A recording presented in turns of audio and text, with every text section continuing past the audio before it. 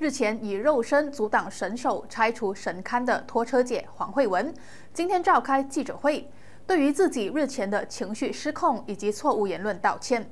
他的记者会随后也引来雪州万挠 M Residence Two 的居民协会到场搅局，现场满满的火药味。黄慧文在本月二十六号以肉身阻挡施拉央市议会人员出动神手拆除拿督宫神龛，情急之下甚至说出了引起有族同胞不满的言论。他今天在记者会上数次鞠躬道歉，强调自己是因为情绪激动才会口不择言。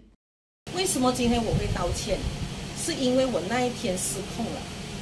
OK，身为一个领袖，是不管发生什么事情。都不能失控。记者会期间，也有物业居民指责黄慧文用词不当，令马来社会感到不舒服。